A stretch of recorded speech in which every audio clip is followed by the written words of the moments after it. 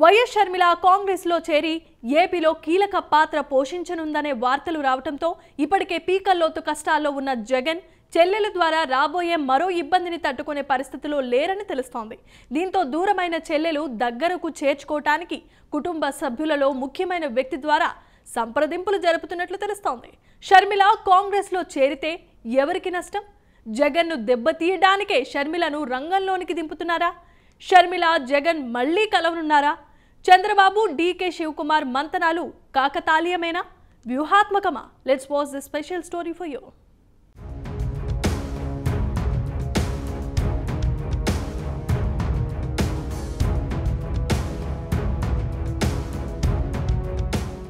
AP రాజకీయాలు రోజుకో మలుపు తిరుగుతున్నాయి. ఇప్పటికే జనసేన టీడీపీ కూటమి స్టేట్ల పంచాయతీపై రోజుకో కథనం వెలువడుతోంది. మరోవైపు బీజేపీ కూటమిలో కలుస్తుందా లేదో ఇంకా తెలీదు. ఒకవేళ బీజేపీ జనసేన టీడీపీ కూటమిలో చేరితే ఎంపీ సీట్లు ఎక్కువగా డిమాండ్ చేసే పరిస్థితి ఉంది. ఇంకోవైపు వైసీపీలో సిట్టింగులకు స్థానచలనంతో పాటుగా కొంతమందికి మొండిచేయి చూపిస్తున్నారు. దీంతో వైసీపీలో అసమ్మతి రాగాలు మొదలయ్యాయి. కొంతమంది ఇప్పటికే ఫ్యాన్ స్విచ్ ఆఫ్ చేశారు. ఇంకొందరు స్విచ్ ఆఫ్ చేసే ఆలోచనలో ఉన్నారు. ఈ క్రమంలో కాంగ్రెస్ పార్టీ సైతం ఏపీలో పూర్వవైభవం సాధించాలని తీవ్రంగా ప్రయత్నిస్తోంది. దీనికి అనుగుణంగానే పావులు కదుపుతున్నట్టు వార్తలొస్తున్నాయి రెండు జాతీయ పార్టీలు మూడు ప్రాంతీయ పార్టీలు ఏపీలో తమ వ్యూహాలకు పదును పెడుతున్నాయి. కేంద్రంలో అధికారులున్న బీజేపీ ఏపీలో కూడా తమ బలం పుంజుకోవాలని చూస్తోంది. దక్షిణాదిన విజయ పరంపర కొనసాగించాలని కాంగ్రెస్ ఉవ్విళ్ళూరుతోంది అధికారం నిలబెట్టుకోవడం కోసం వైసీపీ నానా తంటాలు పడుతోంది. ఎలాగైనా జగన్ను గద్దె దింపాలని జనసేన టీడీపీ కూటమి విశ్వప్రయత్నం చేస్తోంది చేస్తుంది.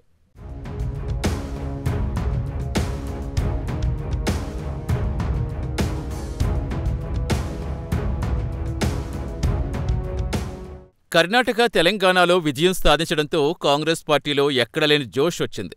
ఉత్తరాన ఆటుపోట్లు ఎదుర్కొంటున్న కాంగ్రెస్ దక్షిణాన తన ప్రాబల్యం నిలుపుకునేందుకు తీవ్రంగా కృషి చేస్తోంది. ఏ చిన్న అవకాశాన్ని జారవిడుచుకునేందుకు ఇష్టపడటం లేదు. తెలంగాణలో పది సీట్లలో ప్రభావం చూపే సిపిఐతో సైతం పొత్తు పెట్టుకుంది. అదేవిధంగా ఏపీలో కూడా ఈసారి ఎలాగైనా కొన్ని ఎమ్మెల్యే ఎంపీలను గెలిపించుకోవాలని చూస్తున్నట్టు రాజకీయ విశ్లేషకులంటున్నారు అవసరమైతే ప్రాంతీయ పార్టీలతో పొత్తు పెట్టుకునేందుకు కూడా సిద్ధపడుతుంది. రెండు వేల నాలుగులో నాటి టీడీపీ ప్రభుత్వాన్ని గద్దె దింపేందుకు వామపక్షాలతో కాకుండా ఏకంగా ప్రత్యేక రాష్ట్రం కోసం డిమాండ్ చేస్తున్న నాటి టీఆర్ఎస్తో కూడా పొత్తు పెట్టుకుని విజయం సాధించింది. ఇలాంటి గత ఉదంతాల నేపథ్యంలో తాజాగా ఏపీలో రాబోయే ఎన్నికల్లో ఏదో ఒక పార్టీతో పొత్తు కాని పరోక్షంగా లోపాయకారి ఒప్పందం కాని కుదుర్చుకునే పనిలో ఉన్నట్టు తెలుస్తోంది. తెలంగాణ ఎన్నికల్లో విజయం ఏపీ కాంగ్రెస్ శ్రేణుల్లో ఉత్సాహాన్ని నింపింది. తాజాగా ఏపీ సీనియర్లు ఢిల్లీ వెళ్ళి కాంగ్రెస్ అధిష్టానంతో చర్చలు కూడా జరిపారు. ఈ క్రమంలో వైఎస్ షర్మిలను కాంగ్రెస్లోకి తీసుకొచ్చి ఏపీలో కీలక బాధ్యతలు అప్పచెప్పనున్నారని వినికిడి.